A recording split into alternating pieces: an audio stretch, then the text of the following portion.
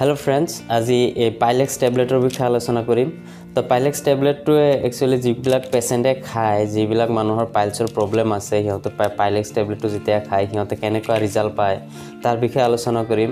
তাৰপিছত এইটো মেডিচিনটো আপুনি কেনেকৈ ল'ব লাগে দিনত কেই টাইম ল'ব লাগে কেইটাকৈ ল'ব লাগে তাৰ বিষয়েও গোটেইখিনি আলোচনা কৰিম।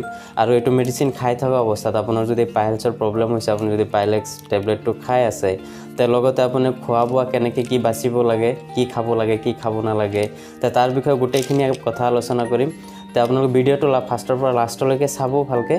আৰু যদি মোৰ চেনেলটো নতুনকৈ চাই আছে তেতিয়াহ'লে মোৰ চেনেলটো ছাবস্ক্ৰাইব কৰিব নাপাহৰিব।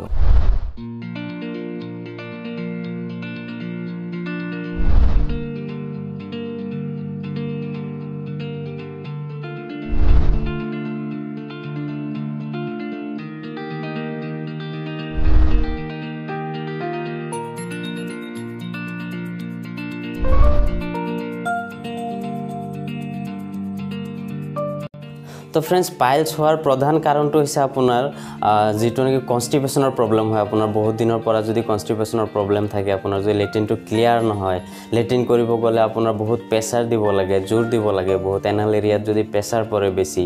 এনেকুৱা পেচেণ্টৰ ক্ষেত্ৰত সেনেকুৱা মানুহৰ ক্ষেত্ৰত পাইলছটো হোৱাৰ চান্স বেছি হৈ যায় আপোনাৰ। তো যদি আপুনি পাইলছৰ প্ৰব্লেমটো ভাল কৰিব বিচাৰে একেবাৰে তেতিয়াহ'লেতো আপুনি ফাৰ্ষ্টত আগতে কনষ্টিপেশ্যনৰ প্ৰব্লেমটো দূৰ কৰিব লাগিব। আপুনি কনষ্টিপেশ্যনটো নাইকিয়া কৰিব লাগিব। আৰু যদি প্ৰধান কাৰণ কিছুমান ক'ব যাওঁ তেতিয়াহ'লে আপোনাৰ একেলেঠাৰিয়ে যদি আপুনি বহুত টাইম বহি থাকিব লাগে মোটামুটি ধৰক আঠ ঘণ্টা দহ ঘণ্টা টাইম এনেকুৱা বহি থাকিব লগা হয় আপোনাৰ জবৰ কাৰণে হওক বা আপোনাৰ বিজনেছৰ কাৰণে হওক যদি আপুনি একেলেঠাৰি আঠ ঘণ্টা দহ ঘণ্টা বহি থাকে কণ্টিনিউ তেনেকুৱা ক্ষেত্ৰতো আপোনাৰ পাইলছ হোৱাৰ চান্সটো বাঢ়ি যায়। আৰু কিছুমান পেচেণ্টে আপোনাৰ পানীটো বহুত কম পৰিমাণে খায় যাৰ ফলতো আপোনাৰ কনষ্টিপেশ্যনৰ প্ৰব্লেম হোৱা দেখা পোৱা যায় গতিকে পাইলছৰ পেচেণ্টে সদায় পানীটো বেছি পৰিমাণে খাব লাগে। আৰু খোৱা বোৱাত বিশেষকৈ ধ্যান দিব লাগে আপোনাৰ যেনেকুৱা মাছ মাংস কণী এইবিলাকৰ খোৱাৰ পৰিমাণটো অলপ কমাই দিব লাগে। আৰু আপোনাৰ বেছি ফাইবাৰ থকা ফুড যেনেকুৱা আপোনাৰ গ্ৰীণ ভেজিটেবলৰ এইবিলাকৰ চালাড তালাড বনাই খালে পাইলছৰ ক্ষেত্ৰত বহুত ভাল। তো এতিয়া এই পাইলেক্স টেবলেটটোৰ বিষয়ে যদি আলোচনা কৰোঁ আপোনাৰ ফাৰ্ষ্ট ষ্টেজ আৰু ছেকেণ্ড ষ্টেজৰ যিখিনি পেচেণ্ট থাকে সেই পেচেণ্টখিনিক এই পাইলেক্স টেবলেটটোৱে বহুত ভাল ৰিজাল্ট দেখায় বহুত সোনকালে ৰিকভাৰী কৰি দিয়ে পাইলছটো তো এইটো মেডিচিনটোৰ আপোনাৰ কেইবাটাও গুণ আছে। একটো আপোনাৰ লেগজেটিভ হয় এইটো যিটো যদি আপোনাৰ কনষ্টিপেশ্যনৰ কাৰণে আপোনাৰ পাইলছৰ প্ৰব্লেম হৈছে যদি লেট্ৰিনটো আপোনাৰ ক্লিয়াৰ হোৱা নাই তেতিয়াহ'লে এই পাইলেক্স টেবলেটটোৱে আপোনাৰ এই লেট্ৰিনটো ক্লিয়াৰ কৰে ইয়াৰ লেগজেটিভ গুণ থকাৰ কাৰণে। আৰু এই মেডিচিনটো আপোনাৰ এনালজেচিকো হয়। পাইলছ হ'লে আপোনালোকে জানে বহুত বিষ হয় পেইন হয় বহুত। গতিকে সেই বিষটো কমায়। আৰু ইয়াৰ এণ্টি ইনফ্লেমেটৰী প্ৰপাৰ্টিছো আছে যে যিটো আপোনাৰ পাইলছ হ'লে যিটো মাংস ফুলে মাংসটো বাঢ়ি আহে সেই বাঢ়ি অহা মাংসটো এই পাইলেক্স টেবলেটটো কমাই দিয়ে। গোটেইখিনি চাব গ'লে আপোনালোকৰ এই টেবলেটটোৱে পাইলছৰ পেচেণ্টৰ ক্ষেত্ৰত বহুত ভাল ৰিজাল্ট দেখায়। আৰু এইটো আয়ুৰ্বেদিক হাৰ্বেল মেডিচিন হয় গতিকে ইয়াৰ ছাইড এফেক্টটো বহুত কম পৰিমাণে দেখা যায়। ছাইড এফেক্ট নাই বুলিও ক'ব পাৰি।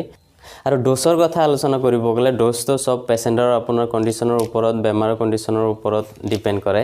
তথাপিতো আপোনাৰ যিটো ইয়াৰ এডাল্ট ড'জ হয় কমন ড'জটো হৈছে আপোনাৰ দুটাকৈ টেবলেট আপুনি দিনত দুই টাইমকৈ ৰাতিপুৱা দুটা আৰু ৰাতি দুটাকৈ ল'ব পাৰে।